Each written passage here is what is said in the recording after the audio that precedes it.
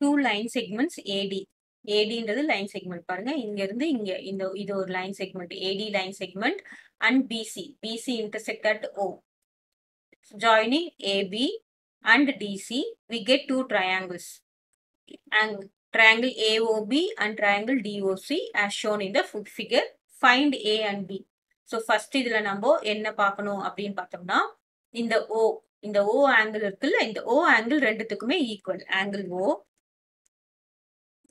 angle O இந்த triangle is இந்த இது ஏஓபிலையும் டிஓசிலையும் angle O is common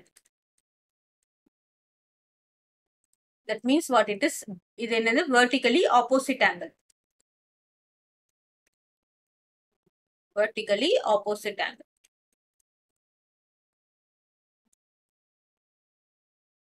அப்போ இது வந்து நம்ம எக்ஸ்ன்னு வச்சுக்கலாம் எக்ஸ்ன்னு வச்சுக்கிட்டோம்னா நம்ம இந்த ஆங்கிளை கண்டுபிடிக்கலாமா x plus 70 degree plus 30 degree that is equal to இது இங்க ஏற்கனவே நம்ம x இருக்கிறதா நம்ம இதை y ன்னு வச்சுக்கலாம்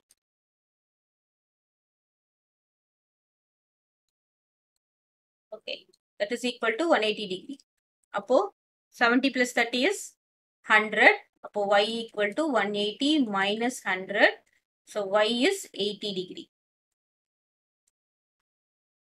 right y is eighty degree அப்படின்னா இது எவ்வளோ? இது வந்து எயிட்டி டிகிரி இப்போ நம்ம என்ன கண்டுபிடிக்கணும்னு பாருங்க. எக்ஸ் கண்டுபிடிக்கணும்.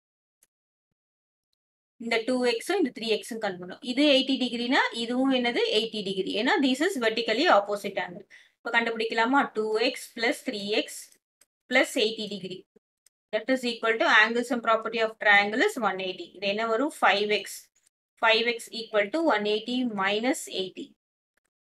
அப்போ 5x is 100. x is equal to என்னதுன்னு பார்த்தீங்கன்னா 20 degree. கிளியரா அப்போ இங்க 20 னா இங்க என்ன வரும் a angle is 60 degree and this is 40 degree. அப்போ 60 plus 40 is 100, 100 plus 80 is 180.